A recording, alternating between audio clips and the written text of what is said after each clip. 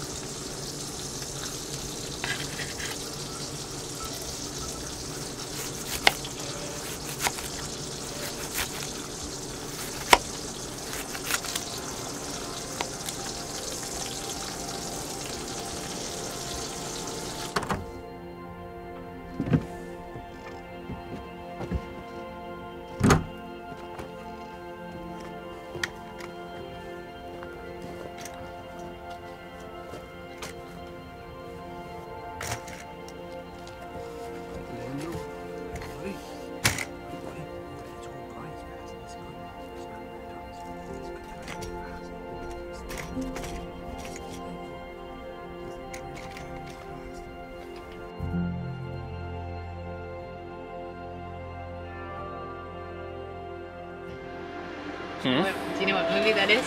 When he's grinding the coffee and he's like, because it's taking so long for me to check. Oh. Dances with Wolves. Ah. That was a good one.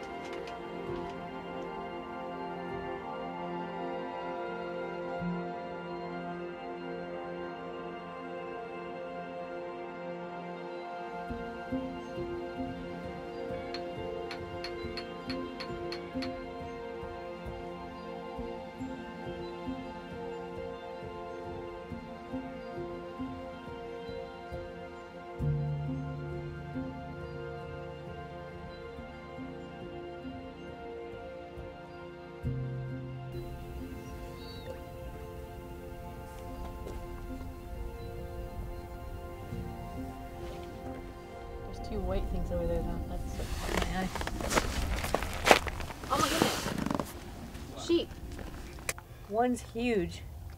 The other one's mid-size. I can't see the back end of the other one. There might be more. There's one laying down that's really big, and then there's two. Good morning, guys. We are out here in the middle of the beautiful desert. Um, Carol, with her eagle eyes, saw some bighorn sheep on that mountain, and they're they're grazing up there. But uh, wonderful sleep, completely quiet. Once that storm blew through yesterday, the rain, it was just uh, still and beautiful. We're really enjoying our time out here, and uh, the way it is in the desert in this time of year, it cools off at night almost to freezing. I, I think it was 3 Celsius, so that'd be like 30, 35 Fahrenheit or something. But then as soon as the sun comes up, whew, it just starts to warm up. So it's, uh, it's really a special place.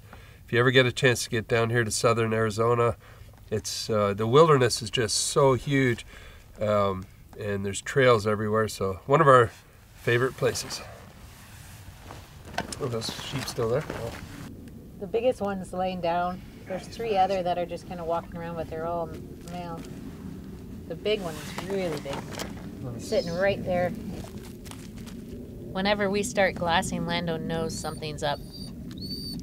But he was barking um, when we were making coffee, so that's probably what he smelled was those uh, four bighorn sheep. Oh yeah, like a big curl. Oh my word. All of them have it, but the one laying down is the biggest. Wow, that is amazing. That is beautiful. I don't think you'd want to mess with those.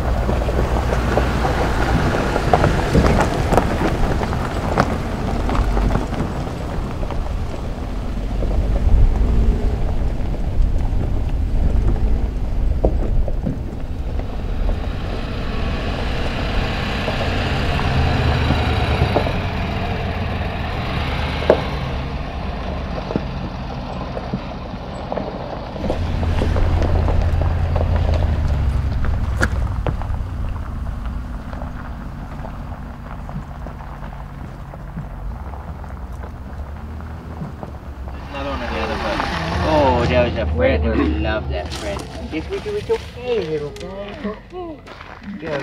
little doesn't really like wearing booties, but uh, in these conditions, he just now got another uh, thorn or cactus into his foot, and he really obviously doesn't like that either. So we're gonna put the boots back on and see see what happens.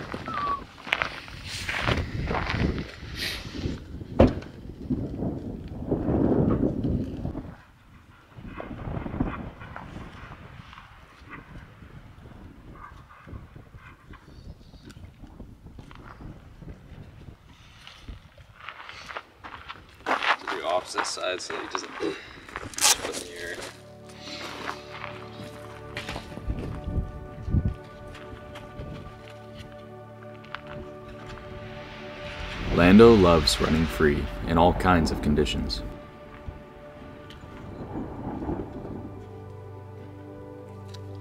Whether it's across a snow or ice covered lake or on a rocky trail, he always prefers to run barefoot.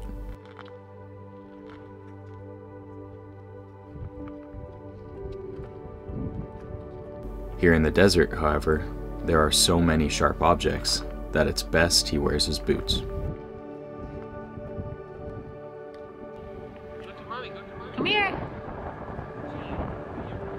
It always takes him a while to get used to them again. Come on. Come on, little guy. Good boy. Come on. First, he'll just stand there. Then he'll do some high stepping, Good boy. Come on, Lando. Come on. Then he begins an awkward run, stopping from time to time to make adjustments.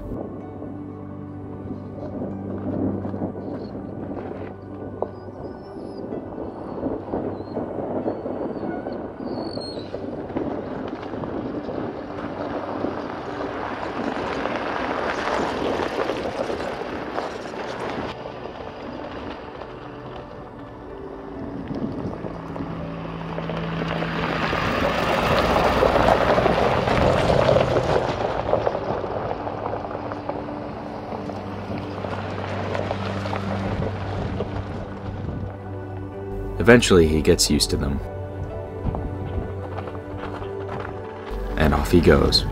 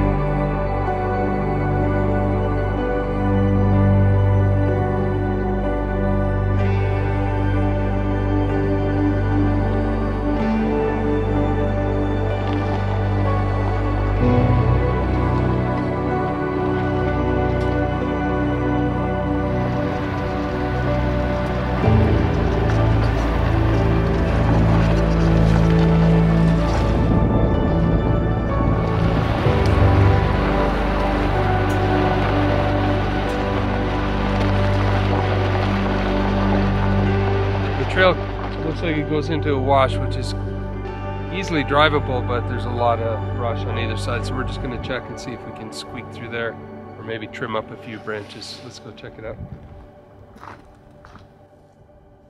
Yeah, definitely have to trim back a few branches. You can see that they've been trimmed over the years, but not quite enough to get the truck through. So about five sections, and then right ahead there it cuts off back to the main trail. So let's get the saw. You lost a boot. Can you go get it? We've had those boots for so long.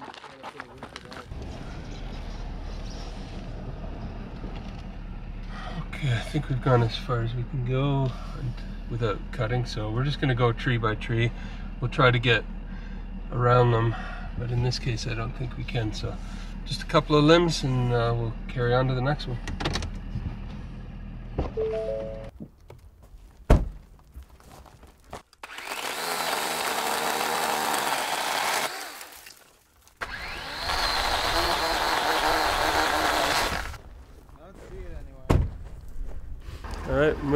To the next one.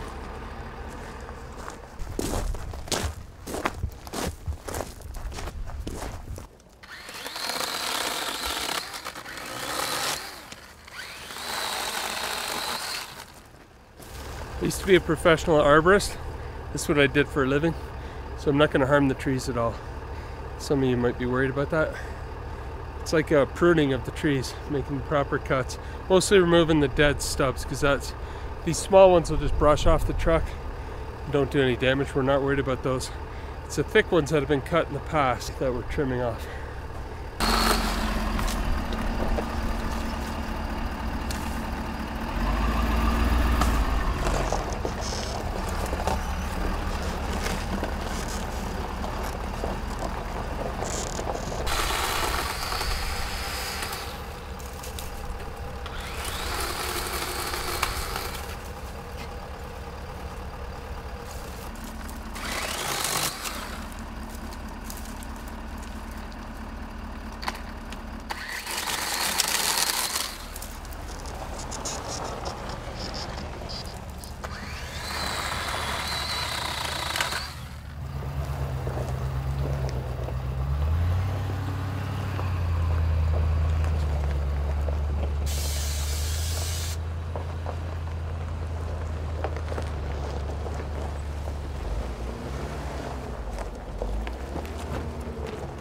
Right, now that we're out of that wash, we're gonna take a minute and just look around for Lando's lost boot. It could be right along the wash, but you never know with him because he can cover a lot of ground, but hopefully it's right here. Um, not that they're expensive, but uh, Amazon don't deliver to the backcountry, so let's go find it.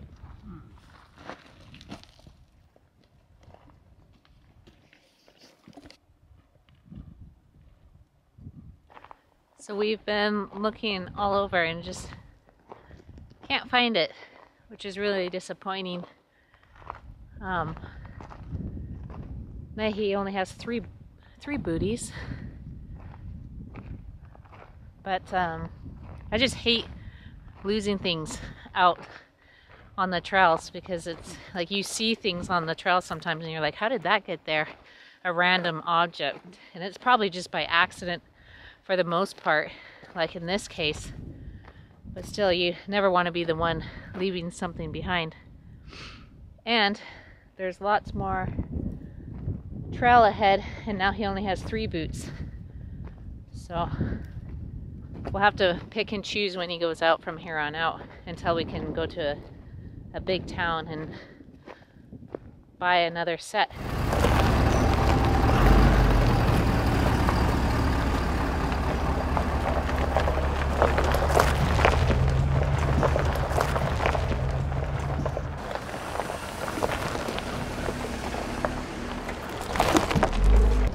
Thanks to everyone who told us about the pronunciation of these big, beautiful cacti. And I think it's saguaro or saguaro. But, uh, and also, these little guys are chia, not chilla. And we said Gila, Gila monster, but apparently you don't pronounce the G or the L, so it's more like Hia monster. You learn something new every day.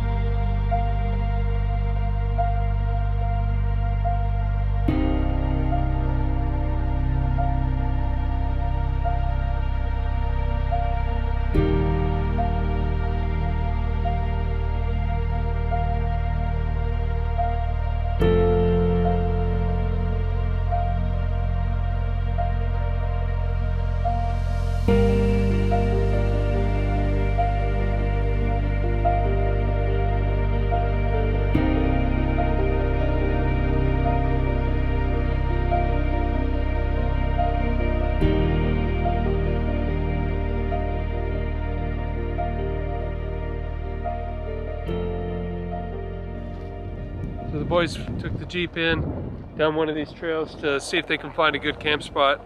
And uh, they usually do that whether they have the Jeep or the bikes. Uh, sometimes faster, more nimble, and then if they like it, we uh, take the truck in. But let's see what they say. Uh, no camp spots, like nothing that looked like someone had been there, but the trail seemed old, like it was a side-by-side trail back in the day. So it is actually a nice spot. Goes to some flat, really level ground out there in a nice, uh, like windless area, but it's, it hasn't been disturbed in a long time. So Okay. we're probably the first ones on there in a while. Might be better than uh, just to find that, that other trail where we saw some existing fire pits. Look at this, Pete.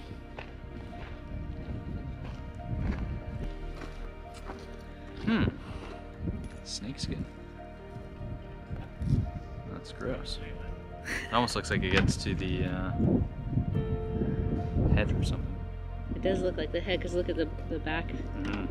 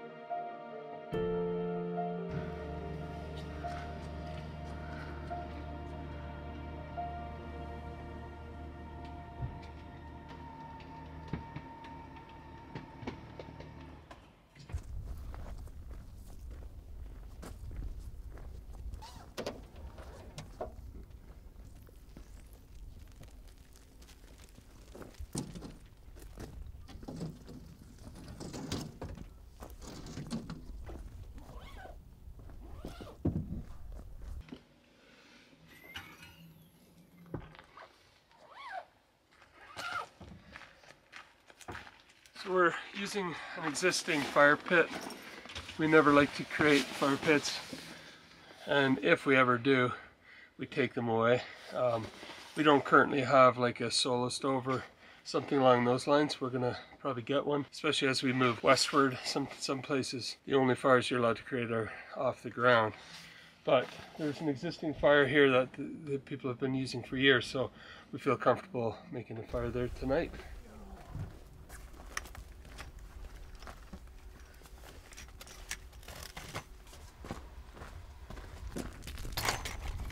Can this go somewhere in the truck?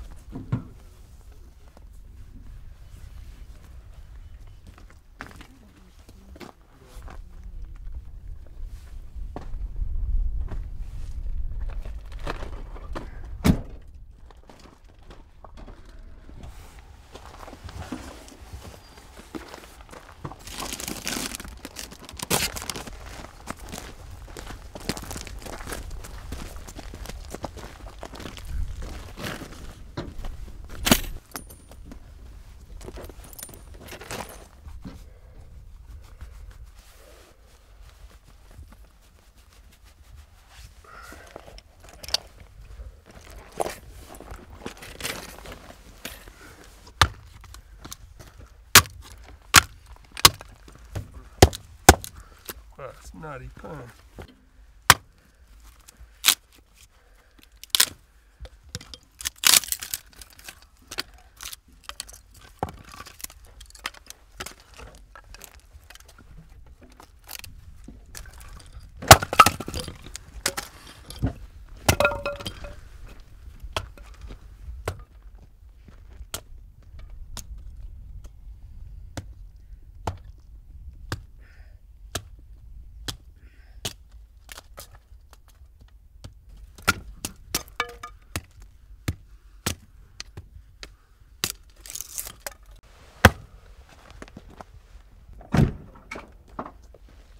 Come here. Want to lay by the fire?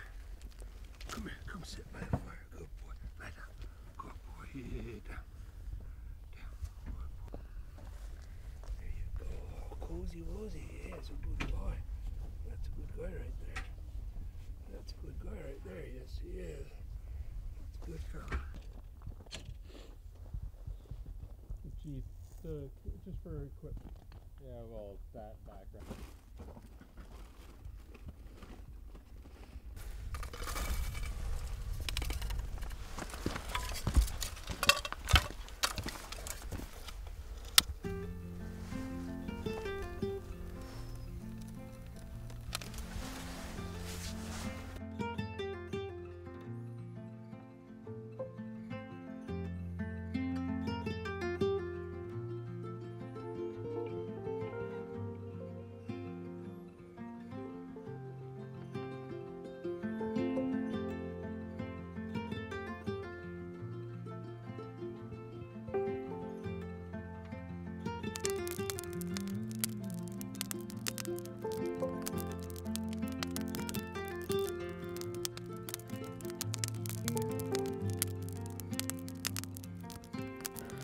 So I just snapped the asparagus and I'm cutting up the mushrooms for on the steaks. I'm gonna be making a chimichurri to go on top of it.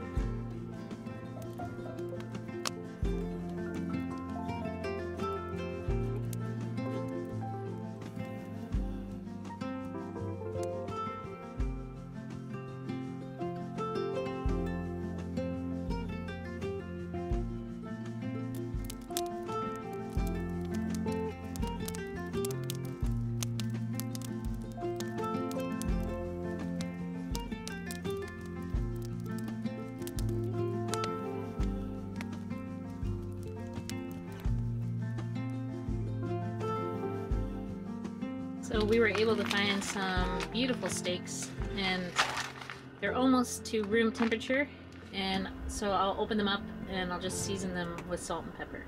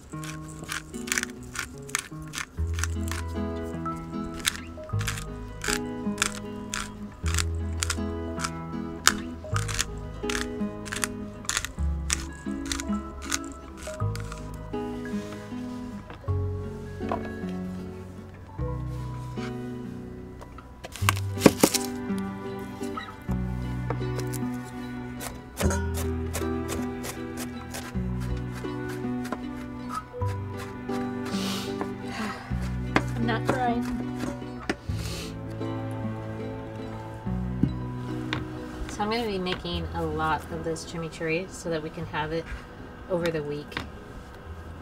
So normally you'd probably do one third of a cup, but I'm just kind of doubling it. Some of you use um, parsley, but I'm not that fond of parsley. I mean, I like it, but not as much as I like cilantro. If you have time, make this the night before um, or a couple hours before. I think we might have about an hour.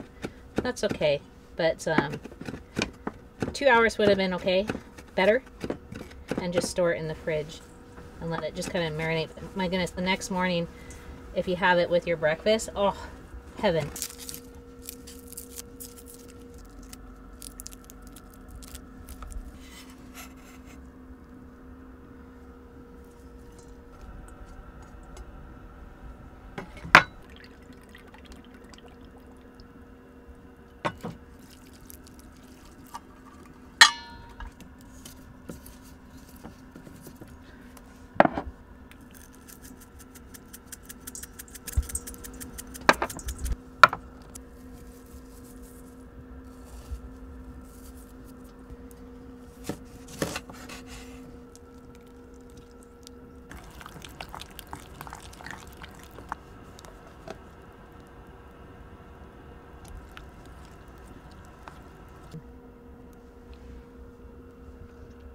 Mm.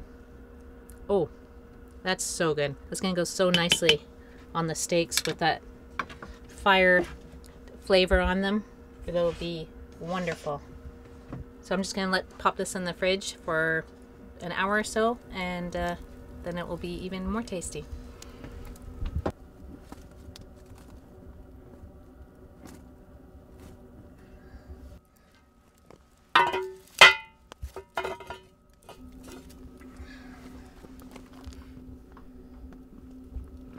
Got a nice hot fire burnt down to coals. I've got one of the cast iron pans and a a, s- a grill that's been heating up. I just tested it with a splash of water and it uh, seems perfect. So I'm gonna go get steaks. Carol's been prepping everything, making her delicious uh, chimichurri. And so let's get the steaks on and get them going. We we, we want it piping hot because we're gonna cook them for you know a short amount of time on either side to sear them and then end up uh, with a nice medium rare steak.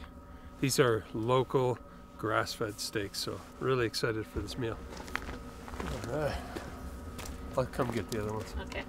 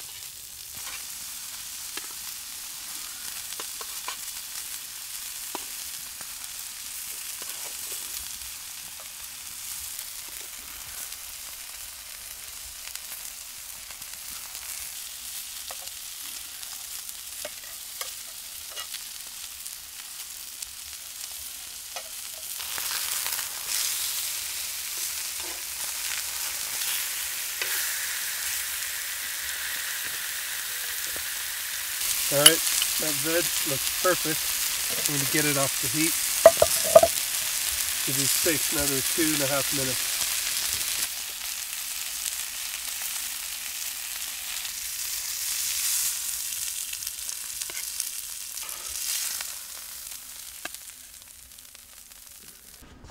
All right, so we're just gonna let these rest for, I don't know, probably 10 minutes and let all the juices settle down and that should be delicious.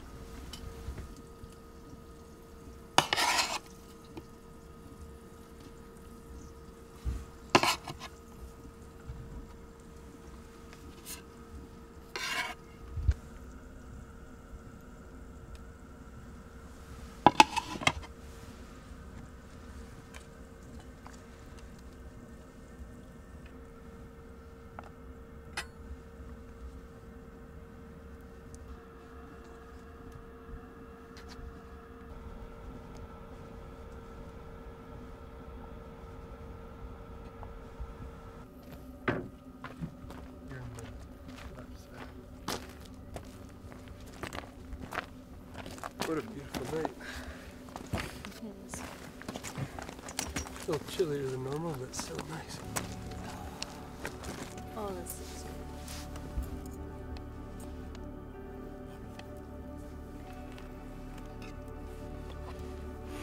Where were you thinking of heading tomorrow? Hmm. I took a big bite. Too bad we didn't make any for the boys. Could you imagine?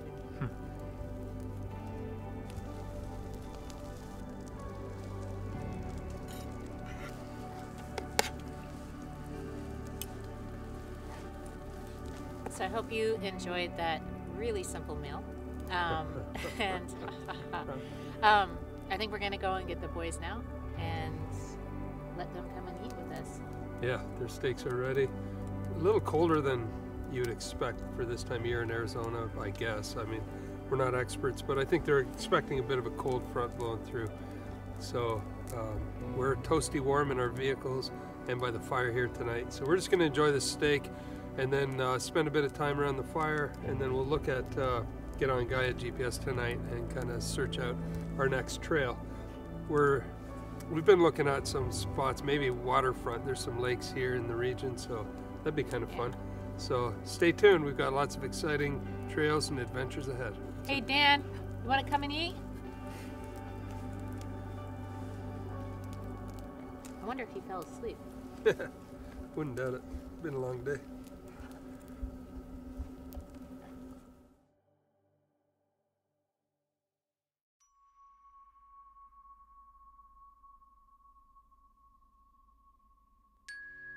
Next morning, we woke up to a beautiful and unexpected sight in this part of the country.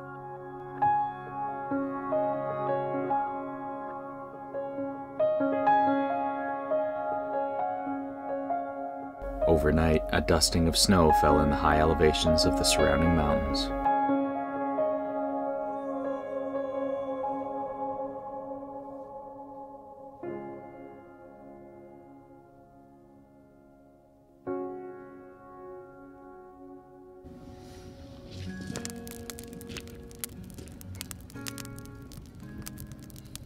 Was short lived, however, as the warm Arizona sun quickly melted the snow and cleared away the clouds, revealing another beautiful day in the desert.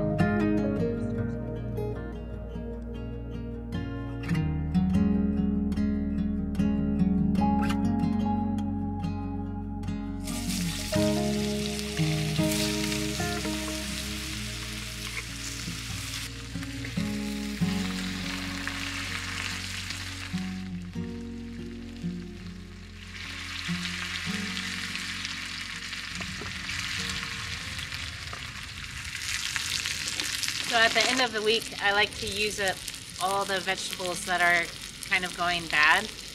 And so we added um, some leftover asparagus, zucchini, and some onion to the potatoes for this morning. I think Daniel's growing because he's been sleeping a lot lately. But uh, this will wake him up. He loves hash browns.